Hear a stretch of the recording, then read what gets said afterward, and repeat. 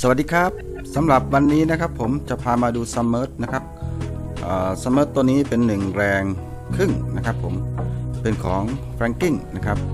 ก็ใช้มาประมาณ 4-5 ปี พอดีน้ำเข้านะครับผมน้ำเข้านะครับ ก็เลยทำให้มีปัญหานะครับ ก็เลยจะพามาถอดออกมาเช็คดูนะครับผม อันนี้ผมก็ได้ถอดออกมาแล้ว แต่ว่าผมก็เลยประกอบเพื่อที่จะ ทำนะครับ ออกมาเป็นคลิปให้เพื่อนๆดูนะครับ อันดับแรกก็ถอดชุดนะครับ ชุดตัวนี้เขาเรียกว่าใบพัดนะครับ ใบพัดตัวนี้แล้วก็ข้างล่างเป็นมอเตอร์นะครับผมเป็นชุดมอเตอร์น้ำมันเข้าไปที่มอเตอร์นะครับ ก็วิธีการก็คือถอดนะครับ ถอดชุดใบพัดออกมาก่อนนะครับวิธีการถอดนะครับง่ายๆนะครับปฏิบัติเลยครับถอดออกมา อันนี้ผมได้ทำไว้แล้ว ผมก็เลยมาทำให้ดูเป็นตัวอย่างอีกครั้งหนึ่งนะครับจะได้ไม่ต้องเสียเวลา อดให้หมดนะครับ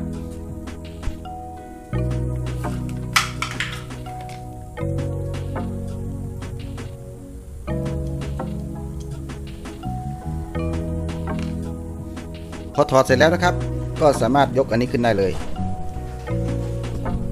หลังจากถอดเสร็จนะครับผมนะครับ ผมถอดน็อตออกนะครับ ก็ชุดพัดลมนี่ก็ถอดได้เลยครับ ยกขึ้นมานะครับ แต่ชุดของมอเตอร์เนี่ยมันหมุนยากเลยครับฝืดเลยครับ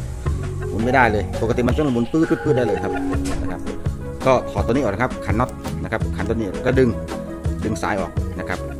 มันจะเป็นสายแจ็คของสายไฟนะครับนะครับ สายไฟตัวนี้ก็คือ U V W W U V นะครับ แล้วก็มีสายดินมีสายดินอีกสายหนึงนะครับ ก็จะเป็นอย่างนี้ แล้วก็ถอดตัวนี้นะครับ แล้วก็ถอดตัวนี้ออก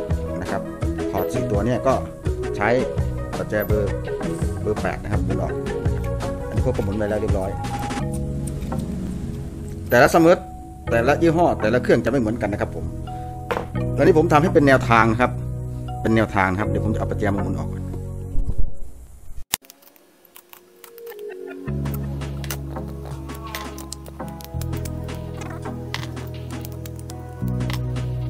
จากนั้นตัวนี้นะครับก็จะใช้ไขควง นะครับ จะใช้ไขควงกระเทาะดันตัวนี้ฮะกระเทาะกระเทาะกระเทาะออกนี่ครับใช้ไขควงกระเทาะออกเลยครับ ก็ใช้ค้อนนะครับ ใช้ไขควง ดันกระเทาะกระเทาะกระเทาะกระเทาะกระเทาะออกนะครับ ค่อยๆทำทีละทีละด้านทีละด้านนะครับ พอกระเทาะออกมันก็จะออกนะครับนะครับ ค่อยๆออกค่อยๆออกถ้าออกมาก็ดึงออกมาได้เลยนะครับ ก็ดึงออกมานี้ ข้างในของมันนะครับผมดินข้าวครับผม น้ำข้าวดินข้าวเต็มเลยนะครับโครนส่องให้ดู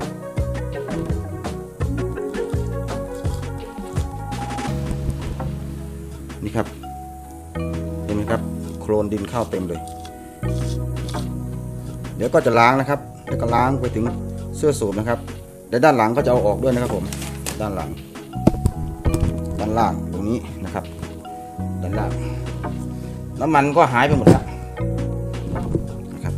ตรงนี้ก็ขันน็อตออกครับขันน็อตเดี๋ยวขันน็อตให้ดูก่อนครับชุดน็อตก็เก็บไว้ให้เป็นที่เรียบร้อยนะครับเดี๋ยหายนี่ครับฝาครอบขึ้น ขึ้นสนิมขึ้นอะไรหมดเลยนะครับ ขึ้นคราบขึ้นสนิมหมด จากนั้นตัวนี้ก็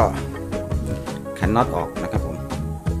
ขันน็อตนะครับเป็นแบบแบนนะครับสามตัวขันน็อตเสร็จแล้วก็ดึงออก แล้วก็จะมันก็จะมีซีลอยู่ข้างใน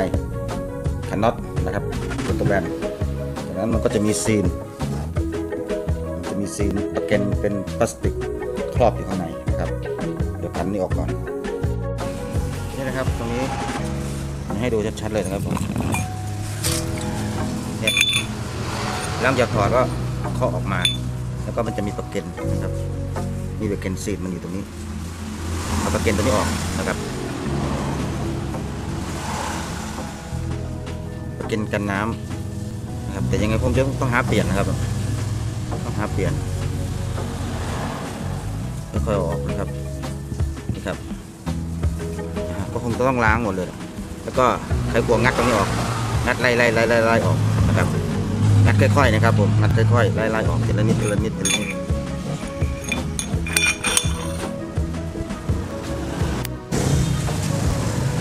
ครับงัดออกนี่เลยค่อยๆครับค่อยๆทีละนิด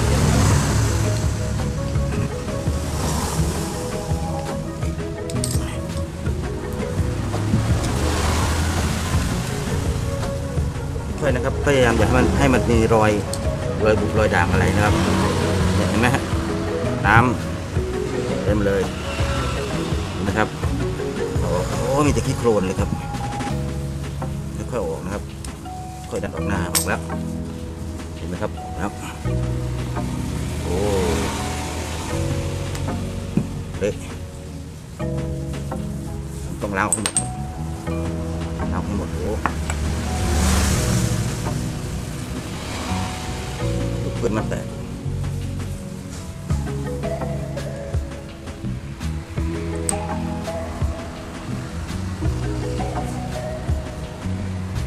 แตกออกก็หนึ่งเลย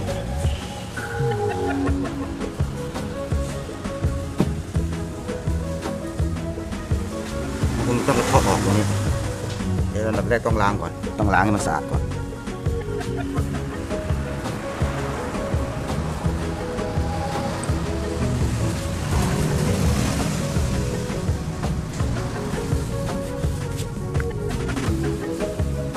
อันนี้ล้างน้ำเปล่าเสร็จแล้วก็จะ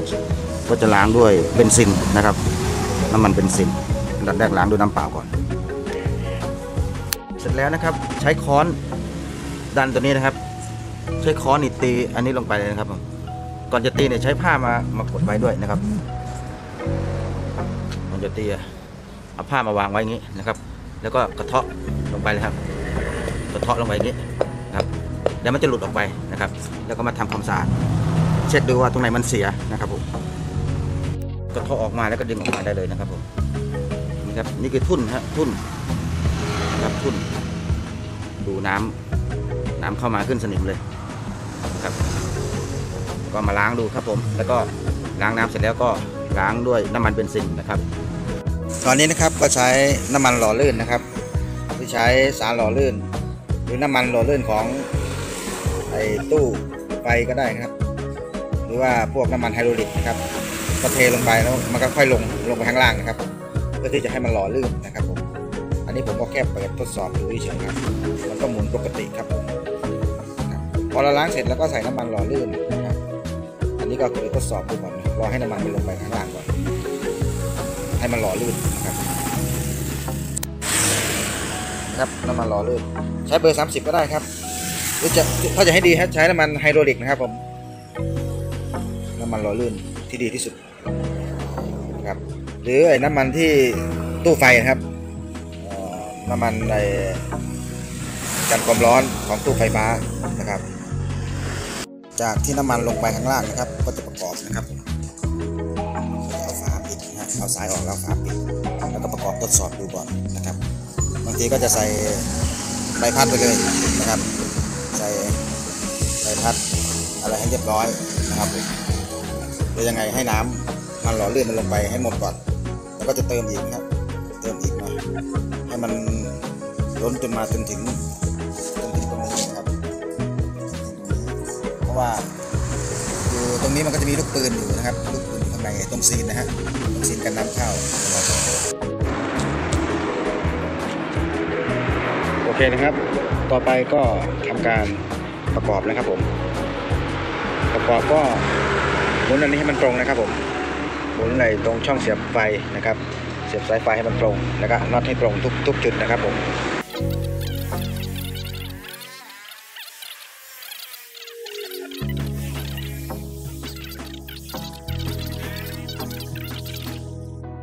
พอหมุนเรียบร้อยนะครับ ก็ใส่แหวนนะครับ ใส่แหวนเข้าไปตัวหนึ่งแหวนกันน้ำนะครับ เออลืมบอกไปนะครับผมไอ้ซีนตัวนี้ผมเปลี่ยนใหม่นะครับซีนและลูกปืนที่อยู่ตรงกระบอกนี้นะครับ ผมเปลี่ยนใหม่หมดเลยนะครับเปลี่ยนใหม่ใส่น้ำมันเครื่องใหม่นะครับล้างทำความสะอาดอย่างดีทีนี้เราก็ขันด้วยประแจนะครับทีนี้ทีนี้ขันด้วยประแจให้มันแน่นนะครับผมเดี๋ยวยังไงได้ทำประแจให้มันแน่นก่อนถ่ายด้วยขันด้วยมันลำบากนะครับก็นำใบพัดนะครับ ผมตัวนี้รุ่นนี้เป็นใบพัดแบบสแตนเลสนะครับผม มาจาก USA นะครับก็ใส่แค่น็อตเข้าไปแล้วก็พันให้มันแน่นนะครับเพราะตอนนี้เวลาสวมเข้าไปตัวตัวนี้มันจะสวมเห็นไหมฮะนะสังเกตดู ทีนี้พอมอเตอร์หมุน ตัวพัดลมใบพัดมันก็ตีน้ำดูดน้ำขึ้นไปนะครับดูดน้ำขึ้นนะครับผมโอเคครับ ตอนนี้ใส่เสร็จเรียบร้อยนะครับผมก็ว่าจะลองลองต่อครับ ลองต่อให้เรียบร้อย ลองทดสอบดูนะครับผมครับก็ใส่ซีนนะครับ ใส่ซีนกันแล้วก็ใส่ตัวลูกปืนละลูกปืนตรงนี้นะครับข้างล่างใส่ข้างล่างข้างบนนะครับทีนี้จะลองต่อสายทดสอบดูก่อนนะครับ ผมทดสอบดูว่าจะเป็นยังไงนะครับจะเอาสายลองเอาสายต่อลองดูครับผมครับ อันนี้ต่อแบบชั่วคราวนะครับ ผม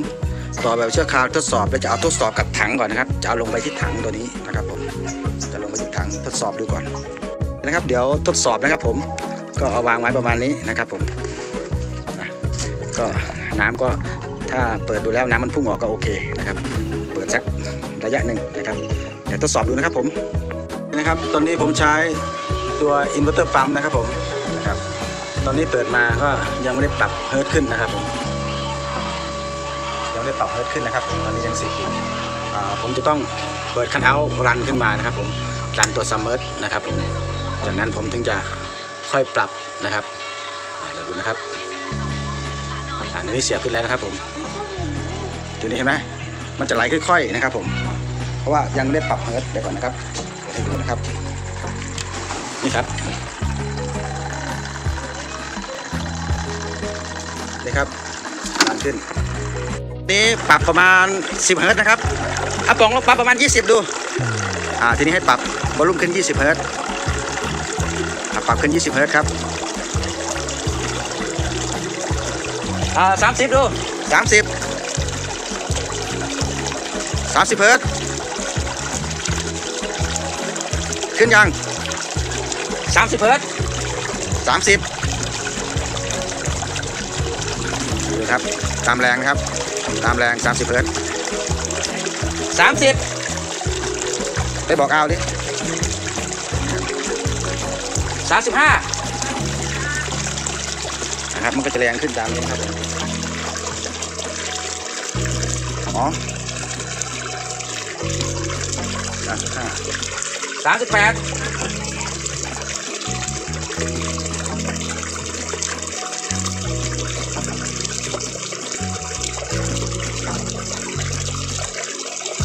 สี่สิบ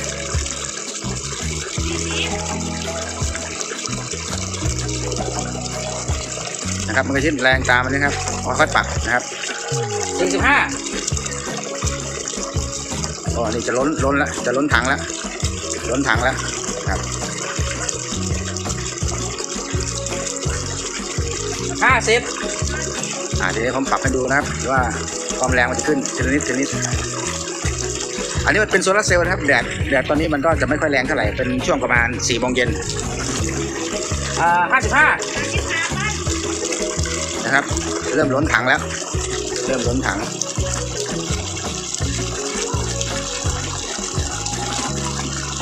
เห็นไหมครับล้นอ่าทีนี้สุดหกสิบเลย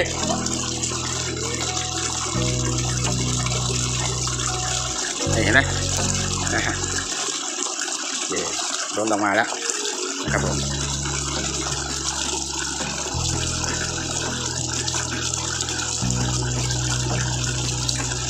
ก็จะได้ประมาณนี้แหละครับ ก็ขึ้นตามสาย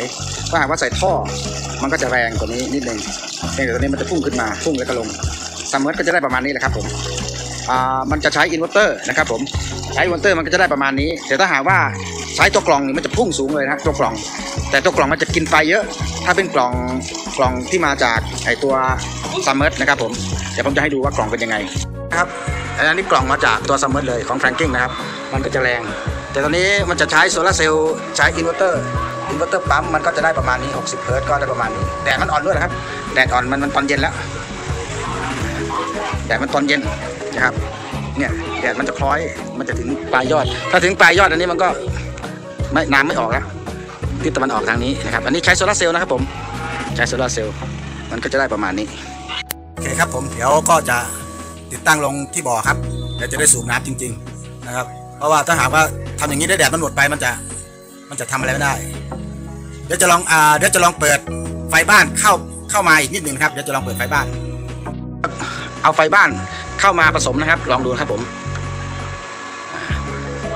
ไฟบ้านเข้ามาผสมอาทีนี้ลองปรับดูเด้ออ่าทีนี้อันนี้ใช้ไฟใช้ไฟมาผสมนะครับเพราะว่าโซลาร์เซลล์แดดมันอ่อนแล้วปั๊บขึ้นไปถึงหกสิบแล้ว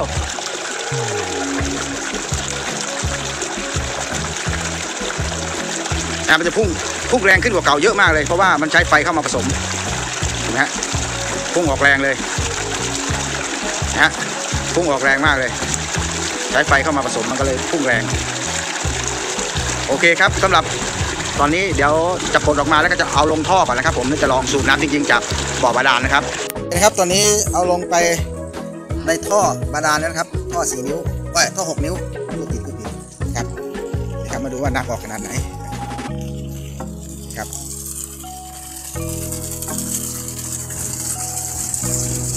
อันนี้น้ำออกจริง ๆ ขนาดนี้ อันนี้แดดบังอันนี้แล้วแดดไม่มีแล้วก็น้ำออกได้ประมาณนี้นะครับ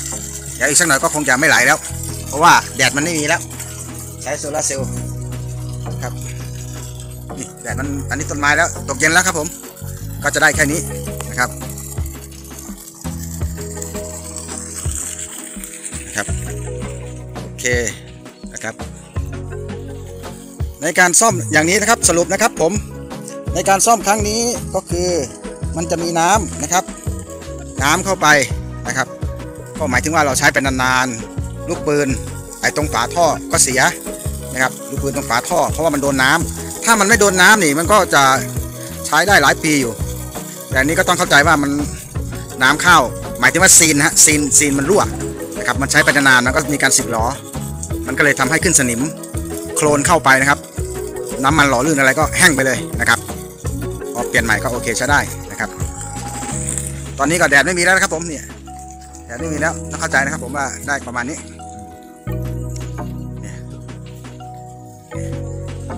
ระยะของแดดแสงแดด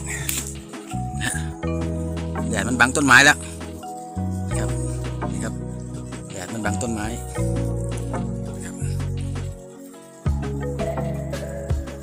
โอเคนะครับ คลิปนี้จบเพียงเท่านี้นะครับผม ขอบคุณสำหรับทุกท่านที่คอยติดตามนะครับ ก็อย่าลืมกดไลค์ กดแชร์ กดติดตามนะครับผม อย่าลืมสัครต์ด้วยครับผม สวัสดีครับ